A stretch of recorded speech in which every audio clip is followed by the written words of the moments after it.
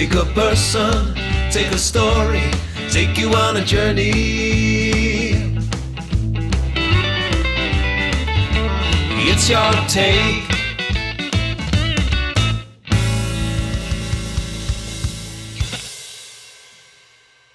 On today's Your Take, I'm joined by a well known interior designer who has graced our television screens since 1996.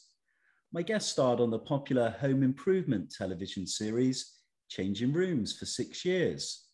The popularity led her to other presenting duties before going on to design and advertise sofas for DFS and cabins for Thomson Holidays, making a yoga DVD appearing in front of the cameras for magazine shoots, and starring in the second series of I'm a Celebrity, Get Me Out of Here.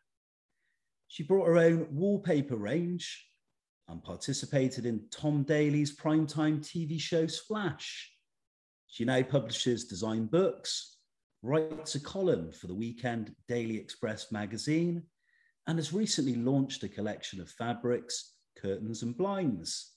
Today, I talked to Linda Barker about her early life, her success, and what the future might bring. Lovely to see you. Thank you kindly and welcome to your take. Thank you very much. Thanks for your um, the interview at the beginning. That those lovely words. Thank you kindly. No, uh, a pleasure we're obviously going to talk about your career and just in that mini biography alone i've missed out several other things you've done as well throughout your career but you've done so so much but i think the good starting point would be to go back to the very beginning turn the clock back to the early 1960s you were born in 1961 and i just wanted to specifically talk about your upbringing. You were born in a, a small village in West Yorkshire called Shelf on the outskirts of Bradford. Can you just tell us about your family life and just kind of your earliest childhood memories? Well, it was pretty idyllic actually. Um, I grew up, like you say, with um, three sisters and a brother, five children, my mum and dad, um, on a farm. So it was very rural, but yet we were massively connected to those massive cities. Both Bradford and Halifax were equidistant away from Shelf, literally Shelf at the, at the top of the hill.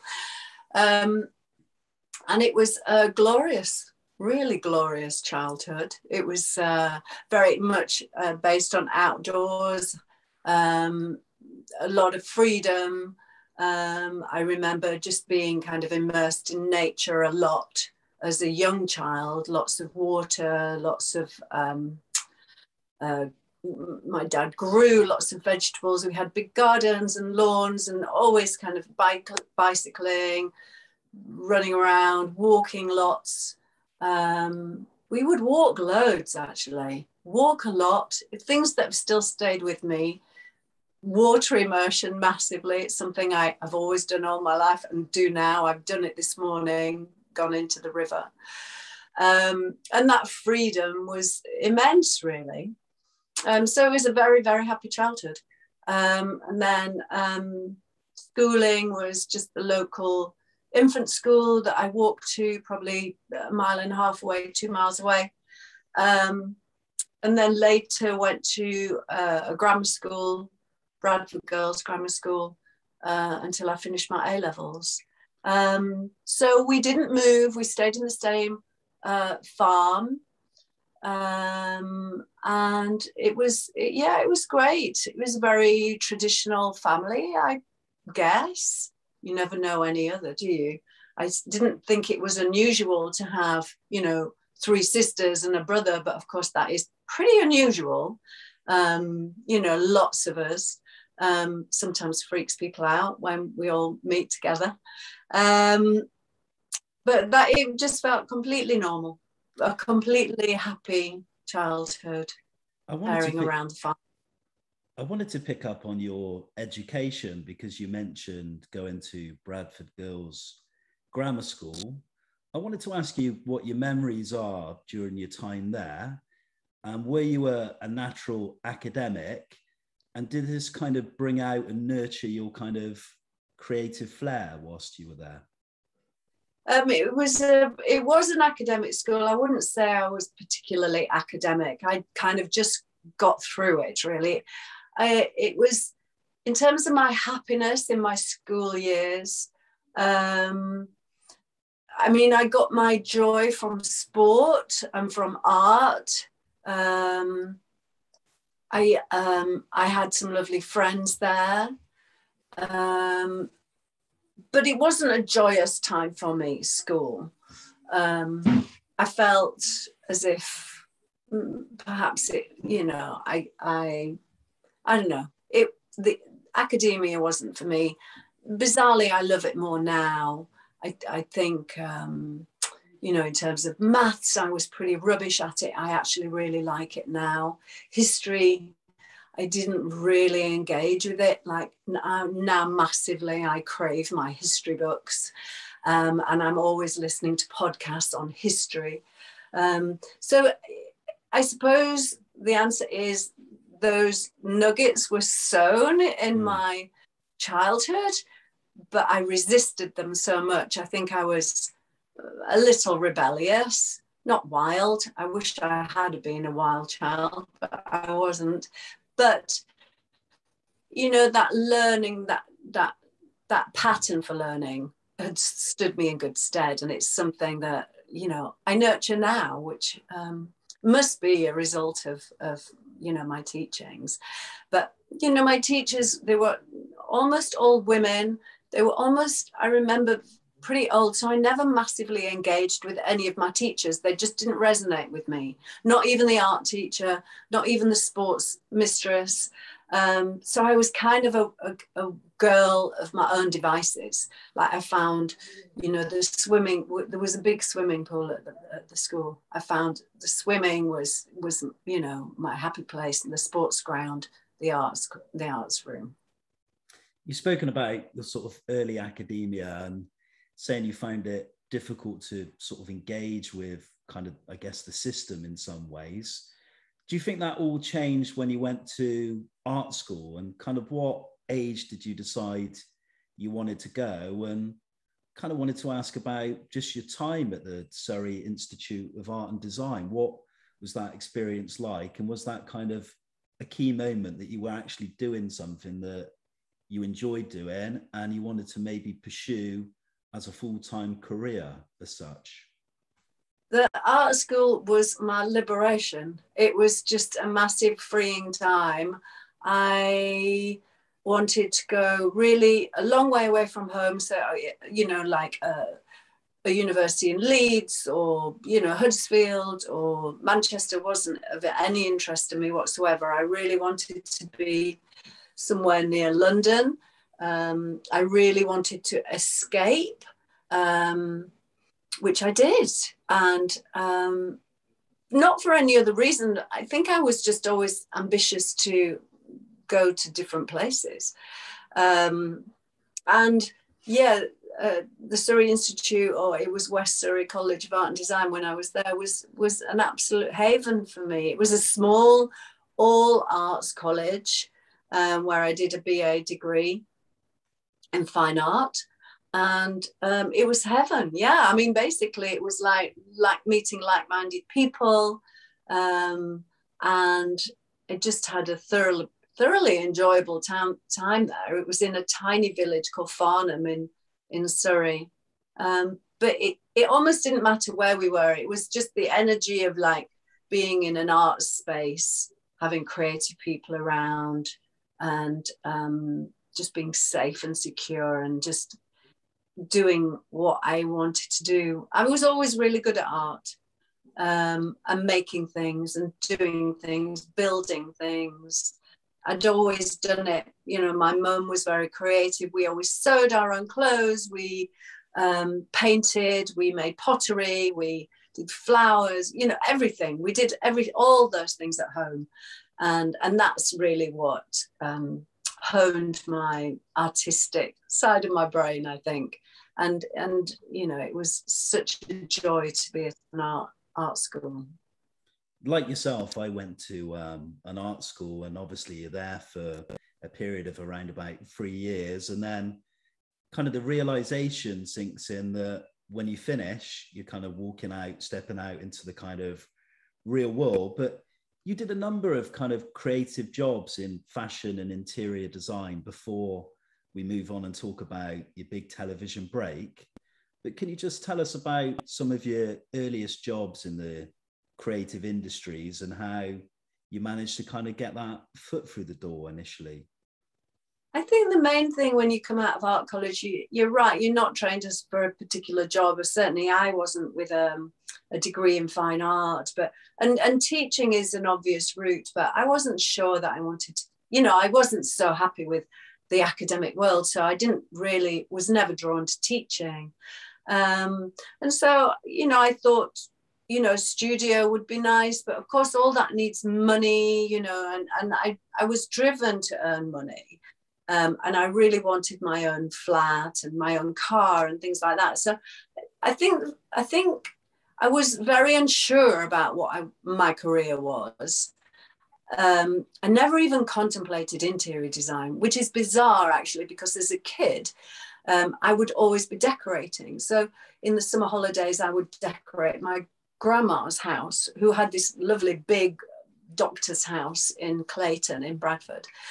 And I would go there on a summer holiday to earn a bit of money putting wallpaper. You know, and this is a 12 year old kid putting wallpaper up, and I loved it. And yet I was thinking, I wonder what shall I do as a job? You know, it's like uh, painting the walls. I wonder what I'll do when I grow up, kind of thing. You know, I'm thinking, Lord, if I'd have just seen that that writing on the wall, I was decorating, decorating, and creating from such an early age. Um, but I think importantly, art school gave me, um, I mean, it just gave me a massive joy initially for my three years. It was really great. Um, and it gave me a confidence for color and um, scale. I was, I was doing big artworks, not particularly good, but big scale. And I think that really took me into the way I earned some money after art college was it, it was the 70s, I guess. And there was a big thing about paint effects. And I could use paint and I wasn't afraid of scale and I wasn't afraid of putting color on walls. And nothing really scared me. Don't think it does when you're in your 20s. And so I started doing paint effects on people's walls. Friend, my own um, flat initially, because um, I'd um, got on, onto the property ladder when I was about 20 six or something, which seems impossible these days. Um, so decorating my own walls and then pe- people liked it, friends liked it, they saw it, they wanted something and I would decorate friends' walls. And then that really grew into the career that I have. So it gave me a lot of confidence, it gave me a bit of money. Um, paint effects were huge. So I would be doing fresco, paint effects on walls, that thing called sponging and rag rolling and uh, wood graining. I did all of those things. And so it was a massive kind of playground, really. Um, and, it, and then, you know, the penny dropped really. It's like, this is what I love. And I, I could do this um, as, a, as a career, as a proper job. Um, so it, that's what definitely let me in. But yeah, I was doing all sorts of other things before. I mean, bar work, I worked in a gym. I sold double glazing for a while. You know, all those kind of jobs that you just kind of you do and you kind of try on and it doesn't fit, so you shrug it off. So plenty of those kind of jobs. I even worked on the airlines for a while as uh, cabin crew. All good, no regrets for anything, but great when I found my, you know, where I should be we're obviously going to talk about the mid 1990s and obviously discuss your time on changing rooms. And I, I bet you get asked about that so often. But I want to begin with your television career because before you get the, the gig on changing rooms, initially you're working as a, a set designer on various television programs. But that was the, the point where you met your future husband. So I kind of wanted hmm. to ask you what television programs you worked on and a little bit about your husband's role, Chris, in the television industry. And was he kind of also a key figure in kind of helping you, you know, develop and go on to a very successful television career? Okay, so the research isn't that spot on actually. Um, Chris, I met at art college um, before he had any role in television. Okay. Um, was doing fine art, and we met there. Um, and um, we had a, relationship at art college. Then we then we went our separate ways after college, and then we re-met when I was in my late twenties. Um, and um, so that so that was that was great. The the kind of set design it wasn't it wasn't really for television. Well it wasn't for television. I worked for magazines quite a lot. So i was doing styling work for magazines which i really loved. So this was a point where i was perhaps in my early 20s mid 20s um, I'd done wall, like I was saying, I'd done walls in my own flat. I'd designed my own flat. Um, and it was in a very kind of you know, we had no money. It was an unusual look. And a friend of a friend came to have drinks or something. And she happened to be a, a magazine stylist and said, um, you know, I'd love to put your decoration in the magazine. It was House Beautiful. And I said, oh, yeah, that'd be absolutely thrilling. And so they put it in, and then I got work at the back of that. So I would style shoots for magazines. Um, I would do makeovers for magazines, um, and I really loved that work. Um, and in fact, that's what the producers of Changing Rooms saw when they called me in for an interview. So I'd done quite a few, worked for quite a few magazines, principally House Beautiful magazine. And I guess the producers from Bazal Productions, which um, that was the production company that initially commissioned changing rooms, made changing rooms um, for BBC Two, interestingly.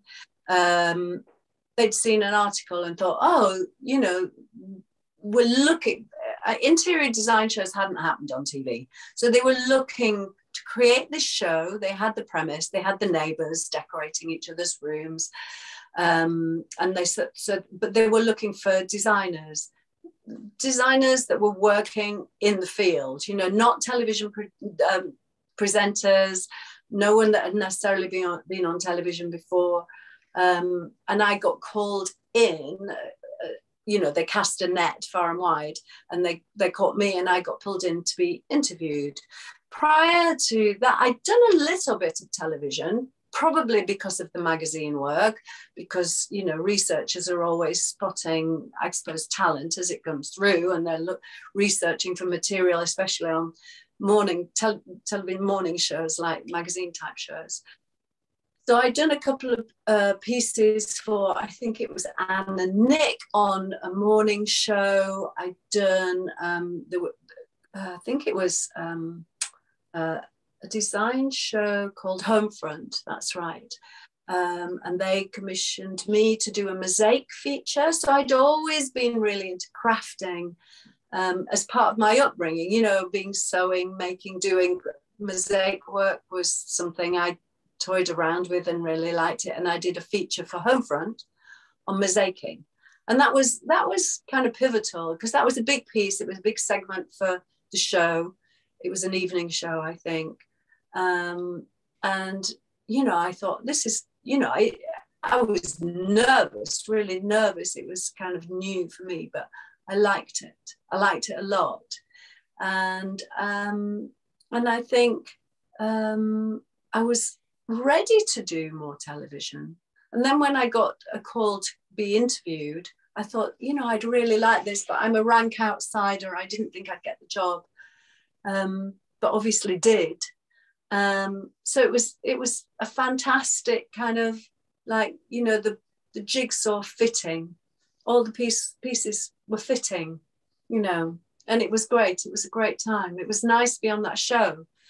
Initially, you know, and we made six programs as um, we'd made a pilot initially and the broadcasters really liked it they commissioned six programs so when we were making the six programs I think we all knew there was something really good about this show.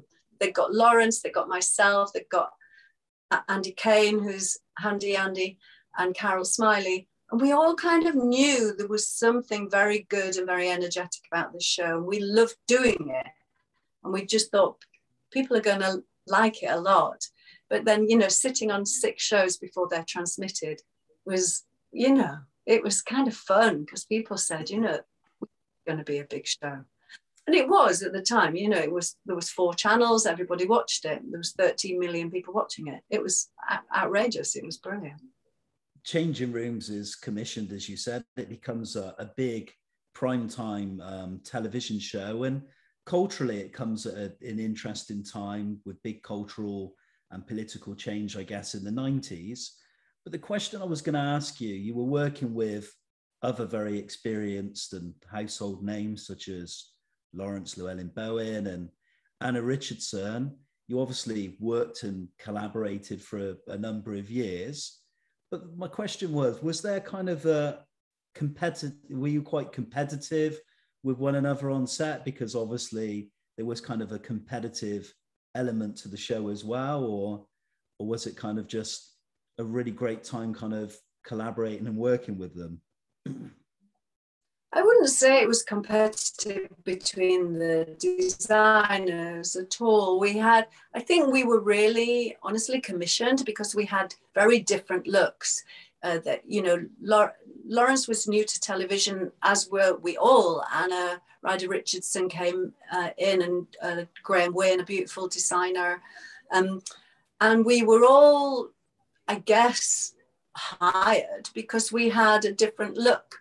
So there was, it's not like like for like, you know, yes, we were interior designers and decorators and we were creating, um, you know, our rooms, but they were very personal to us.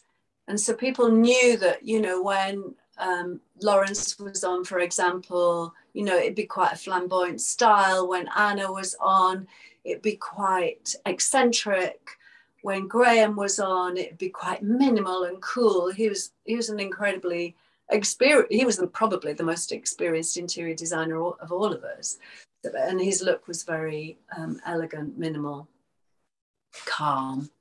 And then there was me. I don't want to categorize myself, um, but so there was no massive competitiveness between us. We had a really good time. We we love we love doing it. Can I ask you about one particular episode? And I suspect you've been asked this many, many times uh, previously. I wanted to ask you about the, the teapot disaster. And for those who might not know about this, this was a, a particular incident on the show where this teapot collection, which was valued at about, I think about six thousand pounds, was was damaged.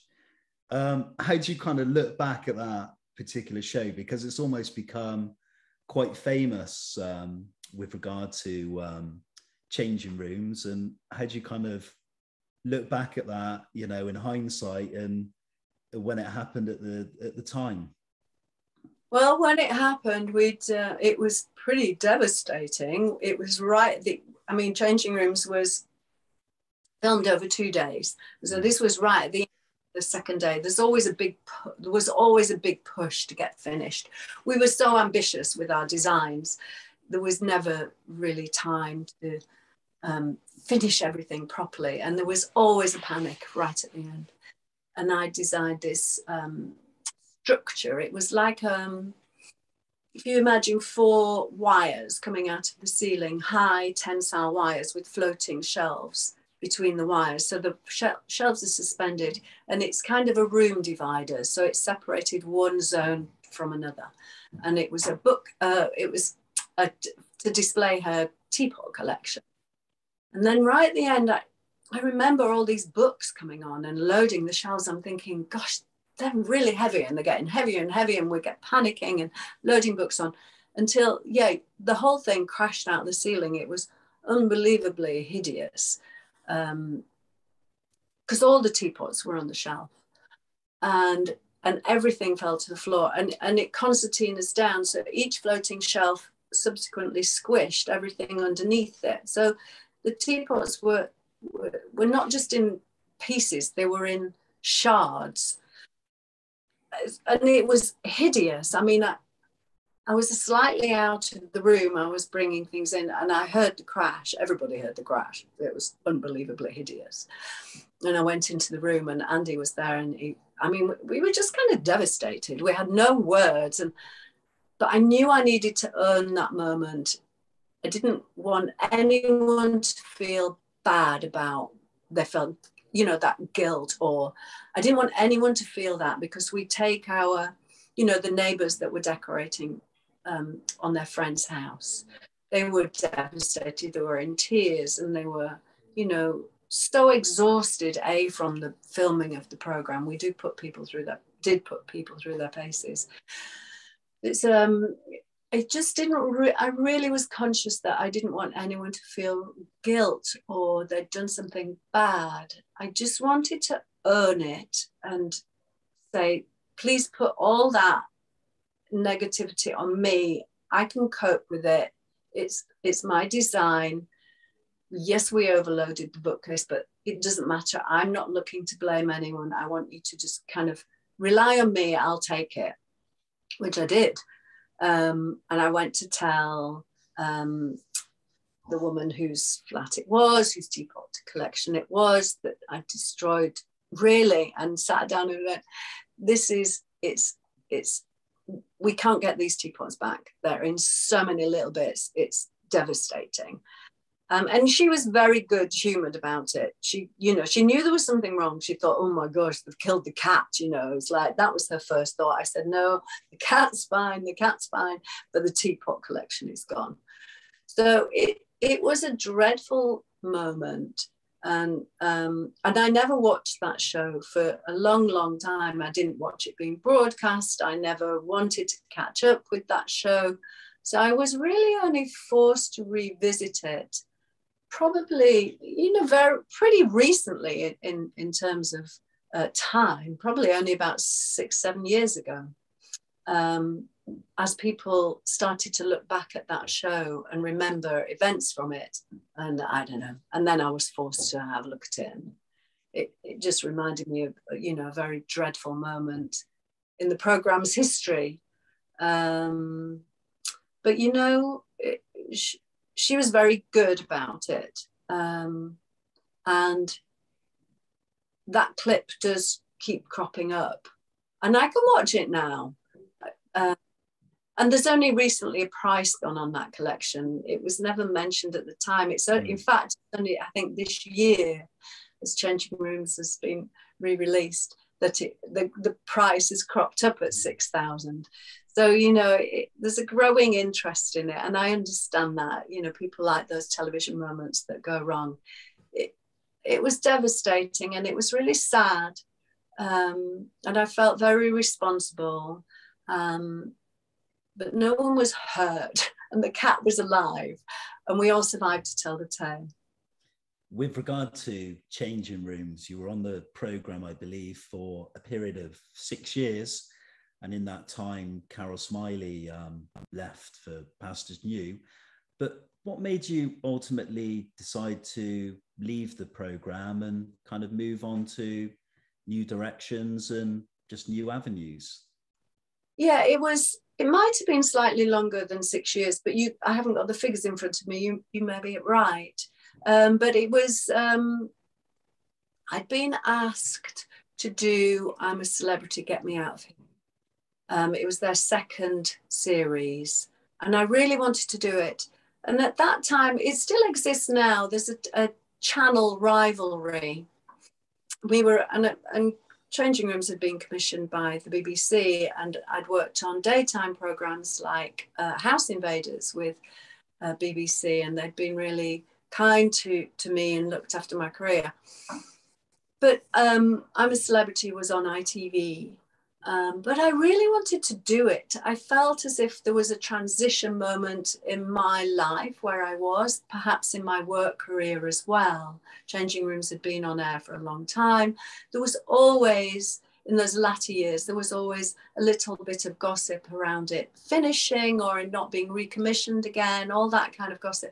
And I thought that was the time maybe that I should branch out. And ITV had offered me this this job, and I wanted to do it, and I did it. And I remember talking to the producers of Changing Room. She said, "Well, look, you know, they're not going to take kindly to you working on a rival channel, but let's see how it goes."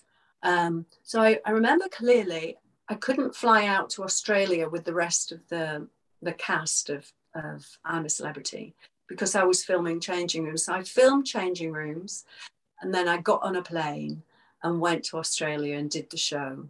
And I was really thrilled that I, in hindsight, that I did do the show. It was pivotal, pivotal for me, and I enjoyed it a lot. But it was that, it was really the fact that back in the day, there was this immense kind of rivalry of what they called their talent. Mm. Funny, but um, working on rival and it was that really that that sounded the the death bell the death knell whatever that expression is. It the writing was on the cards because i'd chosen to work with itv and then continued to do so for a number of years afterwards doing lots of different shows for them. And um and that was you know i came back and i think i did a few more shows but you know the channel were unhappy about that and that was and so I, I think I missed the last series of Changing Rooms. I, I couldn't film the last series. At the beginning of the interview, I mentioned so many things that you've done throughout your career. You've listed a few already with I'm a Celebrity, Get Me Out of Here, created your own wallpaper range, uh, a yoga DVD, working in collaboration with DFS and those adver- advertising as well.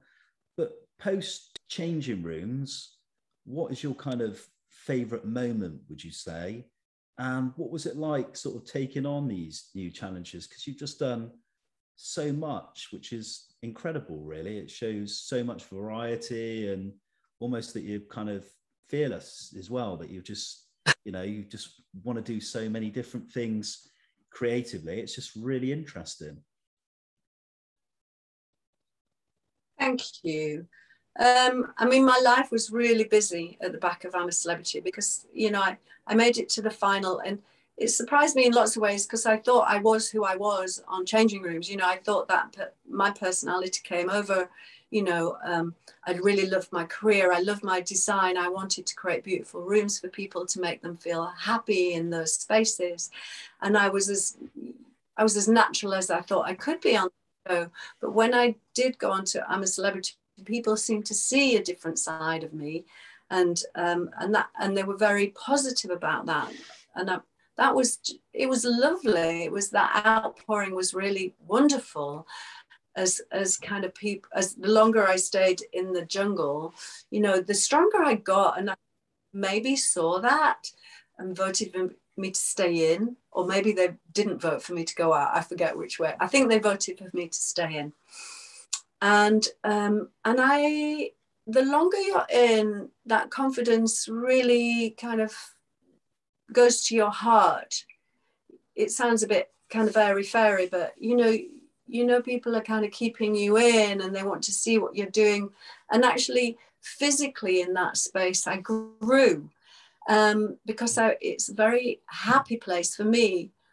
Uh, you know, even though I work in interiors, I'm super happy outside. And like I say, I'm like in water all the time. I'm, I'm swimming in the winter, you know, with no wetsuit. And I, I'm, you know, I'm walking barefoot in fields and forests and all of that stuff I massively love. That's from my upbringing on the farm. That's how I was as a baby. So put me in the forest in my early 30s in the in the tropical rainforest and I was really happy. I mean, I love bathing in the stream. I loved sleeping under the stars. You know, um, I'm not scared of spiders or snakes or cockroaches or they don't terrify me. So there was nothing there that was massively threatening to me. And and I and I like television. I like making television. I enjoy the television process. So, you know, you put all those together, and, and I was in a super chilled place.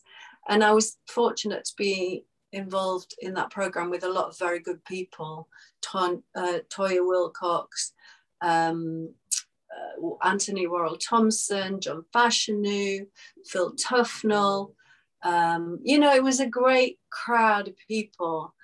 Um, and I resonated with them.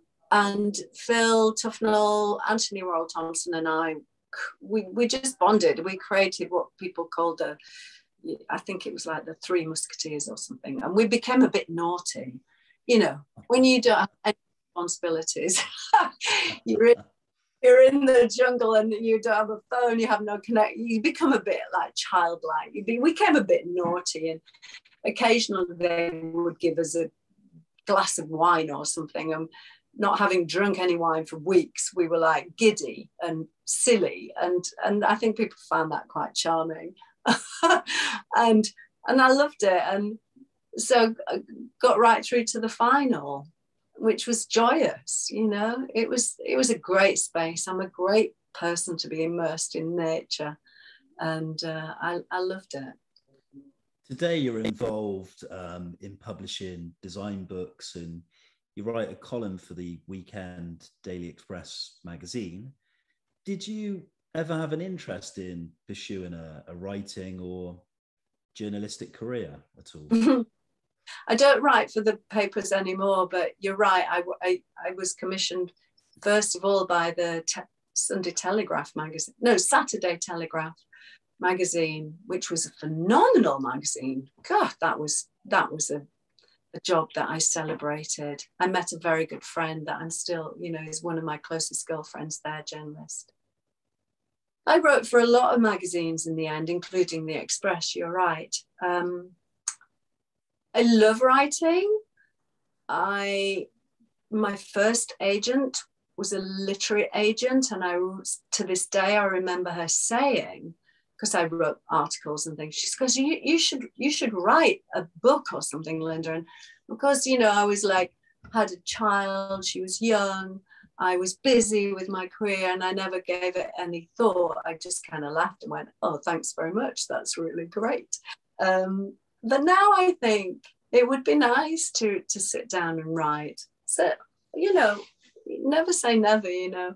I kind of like the idea of sitting at a desk and desk and um, bashing out a few words. I'm you know, I like the process of writing, uh, but I still to this day, I don't give myself enough time to do that. There's always mm. something else that will keep me busy. In this sort of current time, they've relaunched Changing Rooms, uh, a new look show for Channel 4. First of all, I was going to ask if you've obviously seen the, the new series. I was going to ask what your thoughts are. And were you initially approached to be on the, the new series at all? Um, I've, I've, I've seen parts of the new show. I was kind of thrilled that it, it was recommissioned. I thought it was quite exciting. People loved the show. People, and it gave people a beautiful kind of insight as to how interior designers work. There's been quite a few interior design shows, obviously, uh, since changing rooms, and I think it's it's wonderful. We're on low battery. The joy Zoom. Um, I wasn't asked to work on the new show, um, and I have watched some of it, and uh, I think it has caught elements of the the real show, but um, I I don't know. It, it was tinged with a bit of sadness and memory because it was so phenomenal to work on. And you feel as if that moment is yours. But the moment isn't yours. People have to shine and come through, and new designers come through. And it's, it's not my time. My time on that program was in the 90s. Mm. Um, and although Laurence was on it, he's, you know, he's a super entertainer and, and it, it was kind of his show, really, this new launch. Um, but I, I certainly wasn't, I didn't regret not being asked. I don't know whether I would have done it had I been asked. Possibly I would, because I love television, I love design.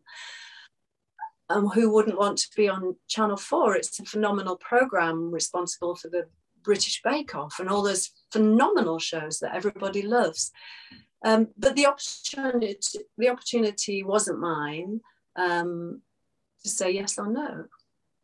Um, but there, there we go. You know, My you have these opportunities in life. You can go my final question before we go on to the um, the questions I ask all our guests, our final questions before we wrap the interview is for anyone listening or watching the interview that wants to form a career in the creative industries or in interior design for you, like yourself, what would your advice be to them? Because obviously it's a very difficult industry to, to get into and obviously be successful in? And also, do you see yourself as being a, a strong female role model with what you've achieved over the, the number of years that you have? I massively hope I'm a strong female um, role for women and men. That would be that would be a legacy. Um, I I think it's it is very difficult to get into this career, um, but it's a passion career. You know what I mean? It's like if you have a flair for design or career, and you would know it. You know, if you're decorating your bedroom at 10, 12, 30, you're changing everything. You know, you're decorating downstairs or you're moving the furniture or you find great joy in hanging a certain set of pictures in a particular way you've got an essence of of you know a designer. Um, and follow it follow your passion. That is that's the most important thing. Don't look for success i, I would say. Um, just follow your passion and your passion always leads you somewhere you know? It's like you've got it you've got this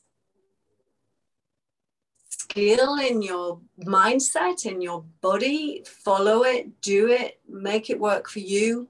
If you want to work on television, concentrate on that, manifest it. Maybe it'll come off, but maybe it won't. But that shouldn't be why you go into that career. Do the career because you love it. Um, and the job market is tricky, but the job market is tricky for everybody. And I mean, I feel blessed that I've done all my most of my career in a in a job that I absolutely love. Linda Barker, this is the part of the interview I always enjoy. I always like hearing the uh, the answers from the guests of things they like or they're not so keen on.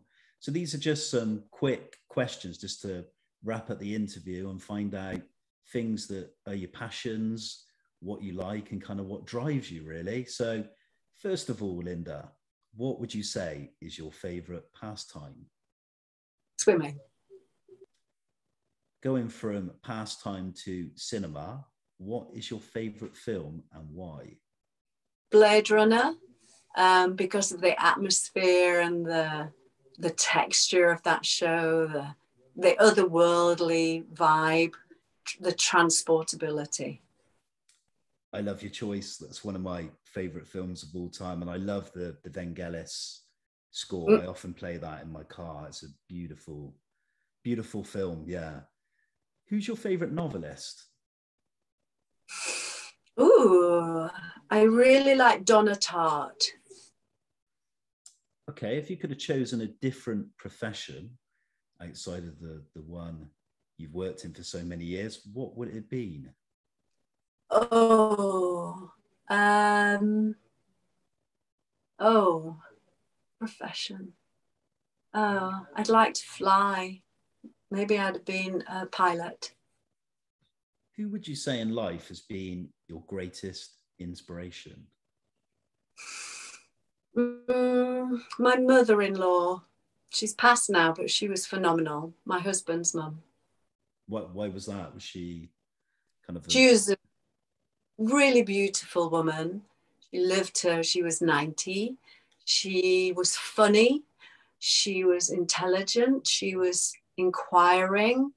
She was always reading and she was incredibly vibrant. You've written for the papers, and we've discussed this briefly uh, today, but I'm going to put you on the spot here. Do you read a newspaper? And if so, which one? Like most people, I get my news online these days, but I've started to buy a weekend paper. I love it. I love the rustle of the paper. I love the smell of the paper. And I love that time that it affords you to sit down on a sofa and turn the pages. Which weekend paper do you read normally? Oh, I mind. Um, I will read The Observer, I'll, I'll read The Times or The Telegraph, uh, whichever is the thickest. And usually I'll look at the supplement see which has got the best interior pages before I buy. Moving on to the papers to food, what is your favourite food? Um, I'm a very healthy eater. Homegrown food is the best. I've just started to grow my own vegetables, big salads, crazy dressings, loads of loads of oil. Um, probably probably a great big crunchy salad with lots of different leaves and textures and a very good dressing on top. Goat's cheese would be nice. Who would oh, you say? who, who would you say is your favorite cultural icon? Mm. Cultural icon. Uh, I don't know what to say for this one um, it would be a woman of culture. Women loom strong in my life. Mm. Uh, I'm trying to think if there's sculptures, because that kind of is your instant iconic kind of reference, isn't it? I could think of Florence Nightingale, but it wouldn't be that. I could think of Rosa Parks. Um, a, a, just an activist of any kind. Maybe let's say Rosa Parks. We're pre the watershed, but you can say this. What would you say is your favorite curse word and why? Oh, twat. Love it. what would you say is your favorite place or holiday destination? Um, the Lake District is pretty awesome. I camp in the Lake District quite a lot. It's to do with the water and the mountains and the grass on my feet. Perhaps it's that. Um, moving on to music, who is your favorite music artist and what is your favorite album? Oh, lots of artists Prince, Madonna, Debbie Harry, um, lots of women.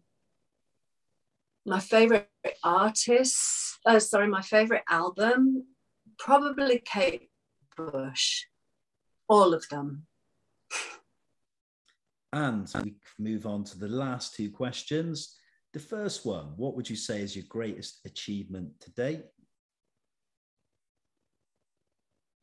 Mm, well, my child is pretty awesome. She's a good woman.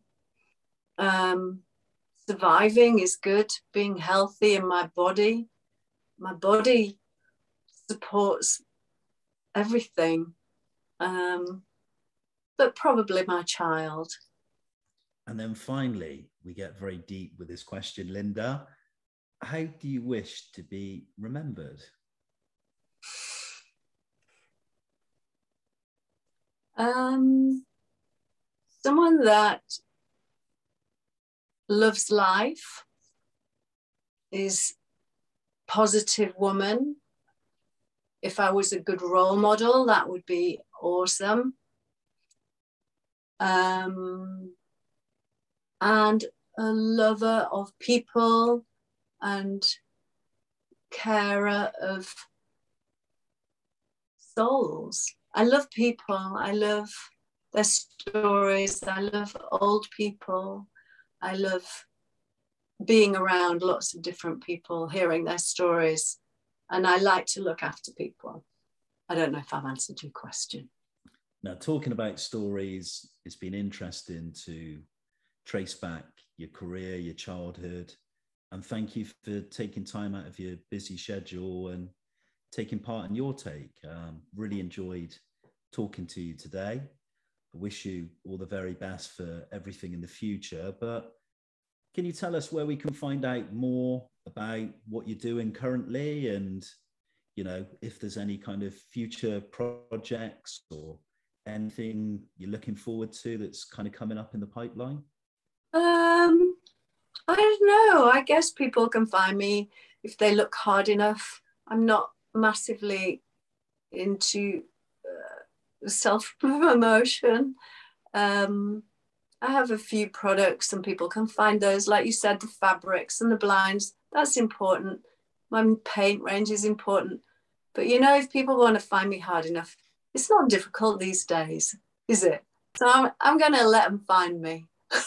I'm not going to. It's it's um, not it's not difficult to find anyone these days. I think that's no. the problem, isn't there? If you can't if you can't get hold of someone on the phone, you can find them on Facebook or Twitter. It's like you can't hide from anyone these days. I think. No, exactly, exactly. But yeah, thanks a lot for um, joining us. I've been interested to hear your story, what you've achieved, and I wish you more continued success. And thank you for being honest and thank you for joining us on Your Take. It's a pleasure and continued good luck with the, the Your Take podcast. Thank you kindly.